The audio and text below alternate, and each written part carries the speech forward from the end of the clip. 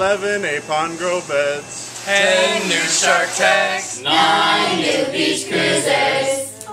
And put some milk in. Yes. 7 scuba tanks. 6 kitchen knives. 5 scholarships. 4 teaching fellows. Three kayaks. 2 working vans. And a happy new year for all. Greetings from Cape Eleuthera. I want to thank all our friends out there for, for making this place work. And I hope you can give to our annual fund this year. Every, every donation helps. Please go to our website at www.capeeleutherafoundation.org and I hope you and your families have a glorious holiday season.